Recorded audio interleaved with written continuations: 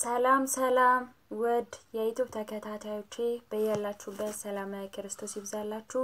ዛሬ ስለ ቡና ያወቅኩትና ያነበብኩትን ላካፍላችሁ ይዤላችሁ መጥቻለሁ። ስለ ቡና መጠጣት ወይም ቡና መጠጣት አለበት ወይ በኦርቶዶክስ ተዋሕዶ አስተምሮ የሚለውን ካነበብኩት ይዤላችሁ መጥቻለሁኝ። ከቪዲዮ ጋር እስከ መጨረሻው አዳምጣችሁ ማወቅ ያለባችሁ እንድታውቁ በትህትና ጋብዛችኋለሁ። በተረፈ ለቻናሌ አዲስ የሆናችሁ like፣ comment፣ subscribe እያደረጋችሁ ቤተሰብ ሁኑ።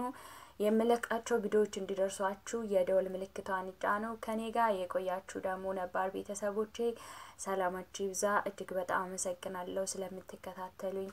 እግዚአብሔር አምላክ ሀገራችንን ሰላም ያድርግልን፣ ከምናየው ከምንሰማው መከራ ይሰውርልን። ዛሬ በርዕሱ እንደነገርኳችሁ ቡና እርኩስ ነውን በሚል ርዕስ ያመጣሁላችሁን ቪዲዮ እንዲህ እያልኩ ጀምረዋለሁ ማለት ነው። አንዳንድ ሰዎች ቡና እርኩስ ነውና አይጠጣም ለማለት የሚያቀርቡትን ምክንያቶች ሃይማኖታዊ መሰረት የሌላቸው ከእውነት የራቁ መሆኑን ለመመልከት እንሞክራለን። በመጽሐፍ ተከልክሏል የሚሉ አሉ። አንዳንድ ሰዎች በድርሳነ ጽዮንና በዜና ስላሴ ተከልክሏል ይላሉ። እስካሁን ግን ምዕራፍና ቁጥሩ ወይም አንቀጽና ገጽ ጠቅሶ ይህን የሚል የለም። በእርግጥ መጽሐፍቱ ለምእምናኑ በቅርብ ባለመገኘታቸው ለማሳመኛ ተጠቅመባቸው ካልሆነ በስተቀር በሁለቱም መጽሐፍና ቡና አትጠጡ የሚል ነገር እንደሌለ የነገርናቸው ሊቃውንት ገልጠውልናል። የዳቢሎስ መስዋዕት ደም ነው የሚሉ አሉ።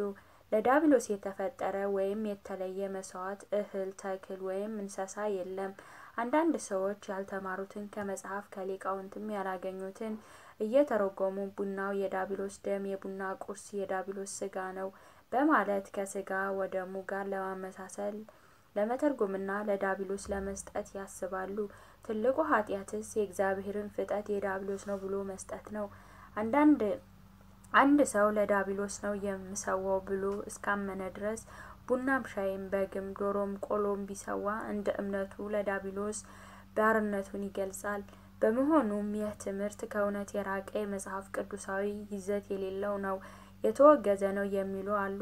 አንዳንዶች ቡና በቤተ ክርስቲያን የተወገዘ ነው ብለው ያምናሉ፣ ይናገራሉ። ያወገዘው ማን እንደሆነ ግን አይገልጡም። ለመሆኑ የማውገዝ ስልጣን ያለው ማን ነው? ውግዘቱስ የሚጸናው መቼ ነው? አንዳንዶች ባህታዊ እገሌ አውግዘዋል የሚሉት ፈሊጥ አላቸው። አንድ ውግዘት የሚጸናው የሚወገዘው ትክክለኛ የክህነት ስልጣን ካለው ያወገዘበት ምክንያት ቤተ ክርስቲያን ባደነገገችው መሰረት ከሆነ ብቻ ነው። ከዚህ ውጪ የሚደረግ ውግዘት ግን ጊዜ ግዛት ዘበከንቱ ተብሎ ይጠራል።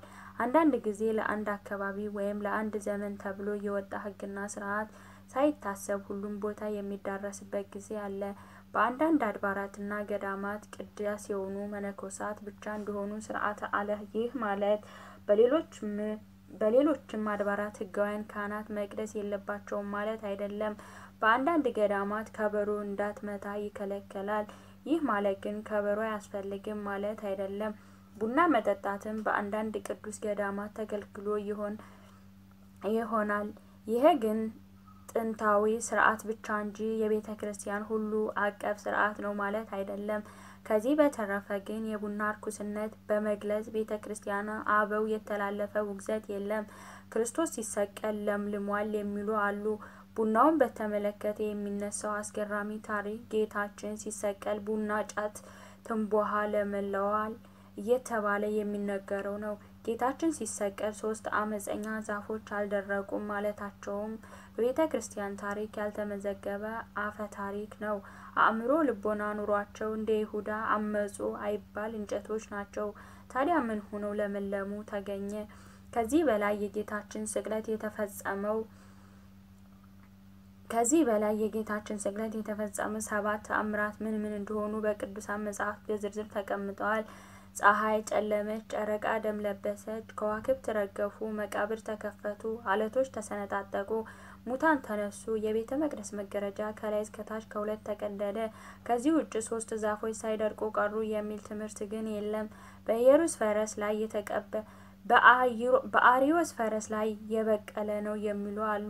አሪዮስ በክህደቱ ጸንቶ ሆዱ ተዘርግፎ ሲሞት በፈረሱ ላይ አስቀድመው የተጠቀሱ ሶስት አጽዋት በቅለዋል ይባላል። ይህ ከዓለሜ ቦርታ ተረት ያልተነሳ ነው።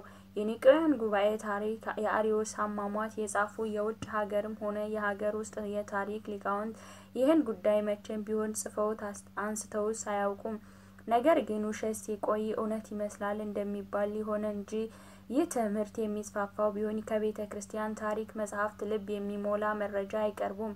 በሌላ በኩል አጽዋት ተፈጥረው ያለቁት በዕለተ ሰሉስ መሆኑን ኦሪት ዘፍጥረት ይገልጻል። ፍጥረት መፈጠርም በዕለተ አርብ ተጠናቋል።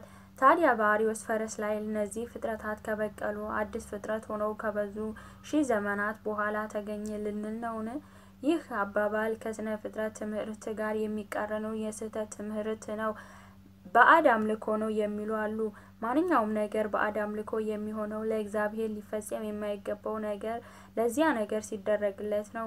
በእርግጥ አንዳንድ ሰዎች ከትምህርት ማነቆሎ የሚባሉትን ሰኔ እያዩ የሚጠነቁሉ ቡና ካልተወቀጠና ካልተፈላ በቤተ ክፉ ነገር እንደሚመጣ ወዘተ የሚያስቡ አሉ። ይህ ግን የሰዎቹ በእምነት ያለመበሰልና ስለ ቡና ያላቸው የታዘበ አመለካከት የፈጠረው ነው እንጂ ቡና አምልኮ ባዕድ በመሆኑ የመጣ አይደለም። ለምሳሌ ቂጣ ቆርሰው ቅቤ ቀብተው የሚበሉ አሉ። ይህ ግን ቂጣ በቂጣነቱ አምልኮ ባዕድ አያደረገውም። ዶሮ አርደውም የሚጥሉም አሉ። ይህ ቢሆን ዶሮ በዶሮነቱ አምልኮ ባዕድ አያደርገውም። ማንኛውም ነገር በሚገባ ካልተጠቀሙበት መልኩን የማይቀይርበት ምክንያት የለም።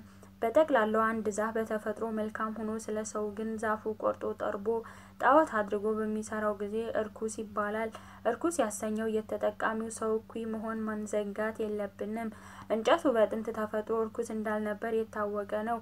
እንደዚሁ ሁሉ ቡናው ፍሬው በጥንት ተፈጥሮ ጥሩ ሆኖ ሳለ ተጠቃሚው የሰው ልጅ ግን ለእርኩስ መንፈስ መስዋዕት አድርጎ ሊያቀርበው ሲያቀርበው እርኩስ ይሆናል። ለባዕድ አምልኮ ተብሎ ከተፈላ ጠጪውም ይረክሰዋል። ቡና መጠጣት አለበት ከተባለ በቡናነቱ ብቻ መጠጣት አለበት። የአድባር የቆሌ መለመኛ ከሆነ ግን አጠቃቀማችን ቡናን ለአምልኮ ባዕድ አድርገውታልና ቡናውን ከዚህ መለየት ከቻልን አብረን ልንተወው የተገባ ነው።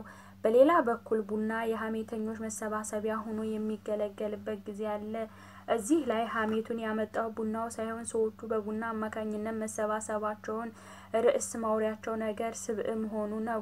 በእርግጥ የቡና ሱሰኛ የሆነ ያለ እርሱ የሚሰሩ የማይነቁና የማያስቡ ካደርጋቸው ካደረጋቸው መተዋቸው ተገቢ ነው።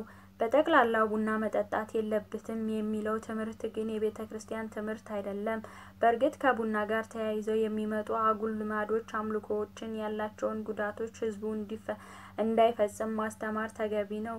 ምንጭ ሊቀ መስዋዕት ለኦርቶዶክስ ተዋሕዶ ልጆች share share በማድረግ ሁላችሁም ይወቁ። ስለ ቡና አመለካከት ያለን እንግዲህ ይህንን ንባብ ወይም ደግሞ ይህንን ቪዲዮ ከሰማን በኋላ ይቀየራል ብዬ ተስፋ አደርጋለሁኝ። እኔም ስለ ቡና ያለኝ አመለካከት የተወዛገበ ነበረ። ቡናው በብዙ ገዳማት ላይ ቡና በቅሎ ለአገልግሎት እንደሚውልም አውቃለሁኝ። ኃጢአት ቢሆን ኑሮ በገዳማት ቡና አይበቅልም ነበር እላለሁኝ እና እየተወዛገብኩ ባለበት ጊዜ ላይ ቴሌግራም ላይ ይህንን ነገር አገኘሁኝና አነበብኩኝ። ስለዚህ ሳነበው እኔ ደግሞ ይህ ነገር ለጓደኞቼ ለእኔ እንደኔ አይነት ስለ ቡና ግራ የገባቸው ልጆች ይኖራሉ።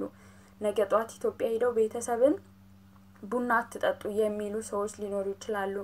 ስለዚህ ያነበብኩትንና ያገኘሁትን እኔም ግራ የተጋባሁትን ለጓደኞቼ ለምን አላካፍልም ብዬ ዛሬ ይህን ይዤላችሁ መጥቻለሁ። ጓደኞቼ ቪዲዮን ከወደዳችሁ like፣ comment፣ subscribe በማድረግ ብርታቴን ብርታታ አበረታቱኝ፣ ከጎኔ ሁኑ ለዛሬ ይዤላችሁ የመጣሁት የቪዲዮ ርዕስ ቡና እርኩስ ነውን የሚለው ያነበብኩላችሁን ይመስላል። ሰላም ክርስቶስ ከእናንተ ጋር ይሁን። እጅግ በጣም እወዳችኋለሁ ጓደኞቼ።